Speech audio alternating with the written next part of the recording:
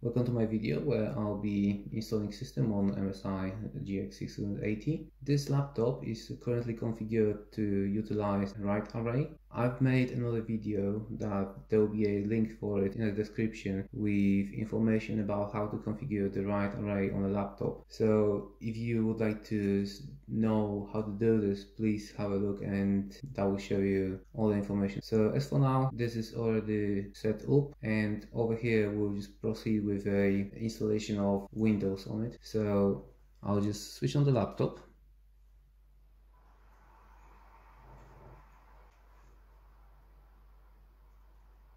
And you can see that over here we have a RAID array and now it goes to boot device selection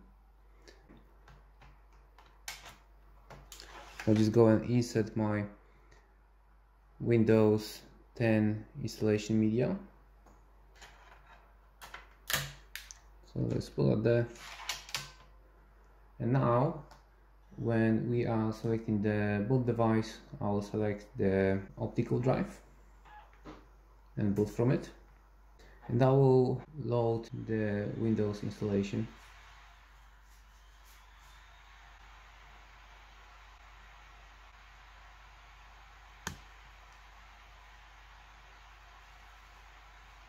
And now we can see the initial Windows setup screen. So that will let us to choose the language that we want to install the Windows in. So in my case, that's uh, United Kingdom because that's where I live. So let's click on next. And now let's click on install now.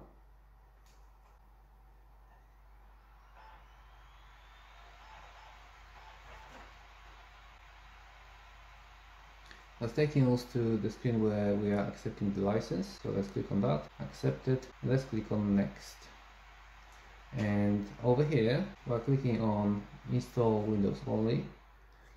And on the next screen, we can see that here's our RAID array that we have configured earlier. And at this moment on this laptop, there's completely nothing because once I've configured the RAID array, it have wiped all the data from, from the hard drives.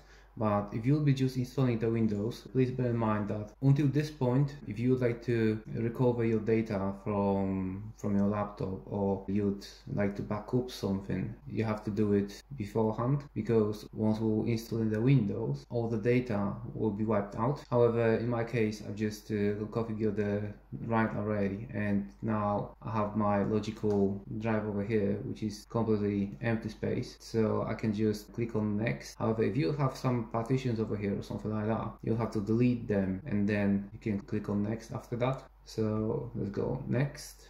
And at this point Windows is starting copying the files. So all the data is now being installed on a hard drive. So that's installing the operating system itself. So let's skip this process because it takes a while. So right now, as you can see, Windows is finalizing the process of copying files to the hard drive and soon it will reboot itself and it will continue the installation after the reboot. Here we go. You can click on restart now. Now the laptop is booting again. However, this time we want to boot it from the hard drive not from the optical drive. So let's click on Intel volume 0 which is our RAID array. And the way how RAID array is working right now it's uh, working like one big hard drive that contains a total space from both hard drives that are inside this laptop.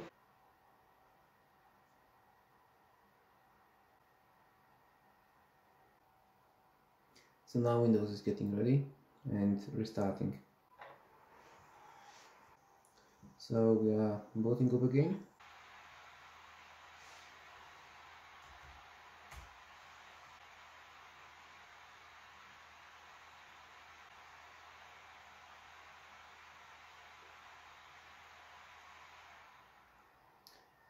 So now the Windows is asking us to provide a key for our network. So I'll just go and sign into mine. So I'll just tap my key. And now I'll connect to my Wi-Fi network by clicking on next. And over here we can customize some settings. And I'll just use the express settings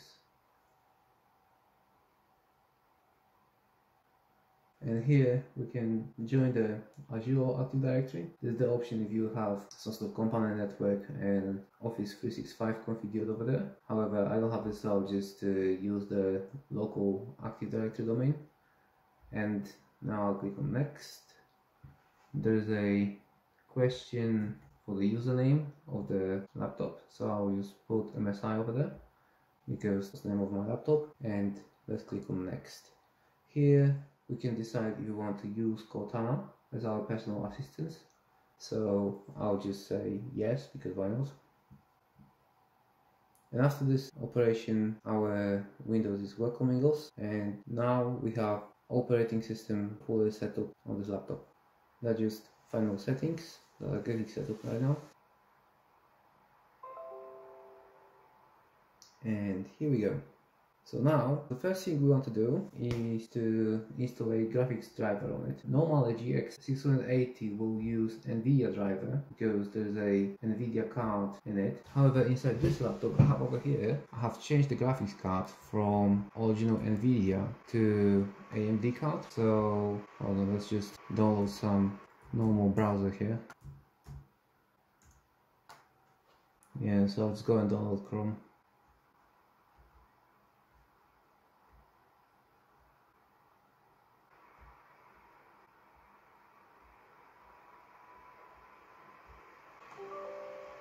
So yes, so this will set up the Chrome browser on this laptop. You can close the Internet Explorer now. So the download of Chrome browser is now completed. It's installing on our laptop. And hey, we have a Chrome browser. So now let's go to, in my case, that's the AMD website in your case on MSI 680R or probably NVIDIA website to get a driver.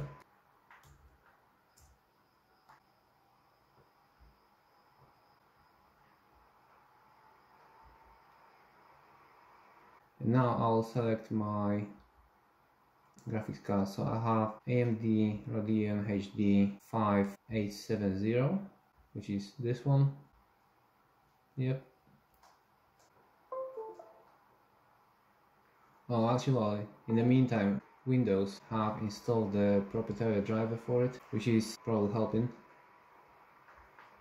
But I want to have a original AMD software on this laptop. So now I'll just go and download the revision 571 with high quality. So this is now downloading my software driver. I'm doing this because when I was using the Windows proprietary driver, it had some issues when watching the YouTube videos. There were some weird artifacts on the screen. So once I've reinstalled the driver for the proper AMD driver, this issue have disappeared. So that's why I'm doing this. Okay, so the driver is downloaded. Now we can install it.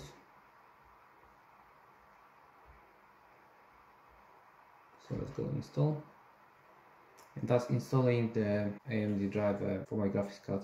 So yeah, so at this point we have a fully working operating system. There's everything over here. There's a browser, we have internet, and now we have a proper graphics driver as well. So this is a fully usable laptop. What do you want to do probably right now, you want to just install your favorite software like maybe, I don't know, some sort of office suite or whatever else you're using on a daily basis. So here we go, that's our setup from AMD. Let's go with Express settings. There's also access the device, so just switch that off. Let's go next. Let's accept the license. And this is installing the operating driver. Actually, because I've configured the RAID array on this laptop, I can already see that it's working far more quicker than it was uh, before I've done it. So if I'll go to my computer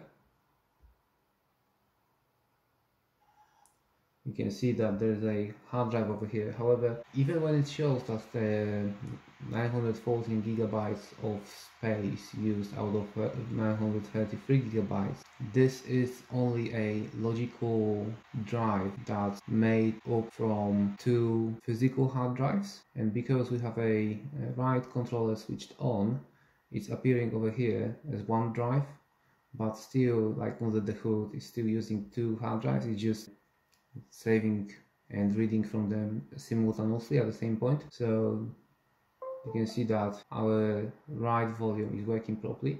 Right now we have installed the graphics driver. So it's already using the AMD software. It's normal that screen might flicker a bit during the installation as well, if you would like to know how to switch those lights that are around this laptop, I've made another video that's on YouTube. There'll be a link for that in a description. The video was made originally for MSI GX660, however, it will work for GX680 in the same way. So if you'd like to know that, please have a look. So yeah, now the driver is installed, so we can click on finish. And now it's asking us to reboot the system. So let's do that.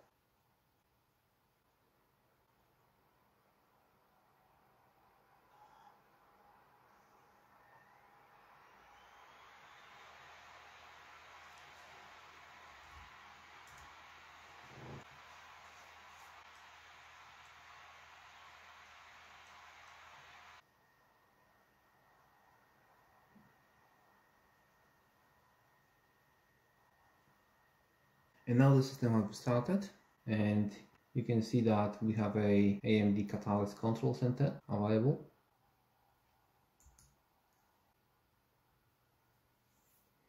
And you can see that the driver is installed properly.